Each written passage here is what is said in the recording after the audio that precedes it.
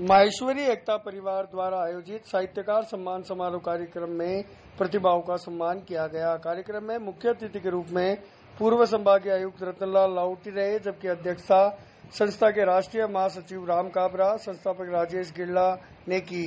कार्यक्रम संयोजक हरिप्रसाद राठी, स्वाति जैसल मेरिया ने साहित्य के क्षेत्र में उत्कृष्ट कार्य करने वाली समाज के प्रतिभाओं को रूप में डॉक्टर सूरज माहेश्वरी नेयल लड्डा लता राठी मंजू लोहिया स्वाति मानदना को दुपट्टा पहनाकर सम्मान पत्र देकर एवं स्मृति चिन्ह देकर सम्मानित किया।